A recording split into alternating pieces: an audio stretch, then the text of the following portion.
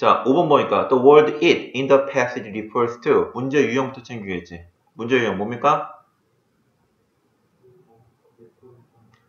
reference question이에요. 그 reference라는 그 자리에다가 하이라이트 쳐주시고 뭐 옆에다가 역시 그 reference 다 그 문제 유형 적어주세요. reference question 같은 경우에는 어떻게 풀어?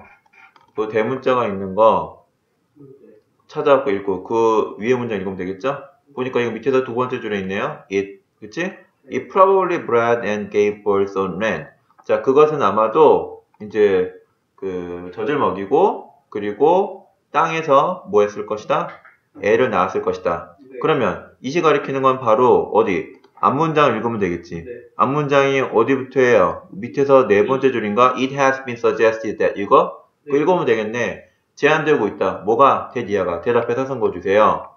파키세트스는 fed on 음식을 먹다 이런 뜻이네. 그러니까 물고기를 먹었대. in shallow water 얕은 물가에서. 그리고 파키세트스는 was not yet adapted 아직 지금 adapt 뜻이 뭔데?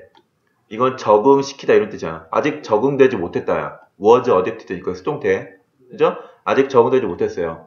for life open ocean. 그러니까 open ocean이니까 열려져 있는 그런 바다인 거지. 그리고 그것은 아마도 birth on land니까 이시 가리키는 거는 네. 뭐다? 어, 파키세트스가 되는 거네요. 그러니까 답은 5번 답은 A. 윤영 됐어요?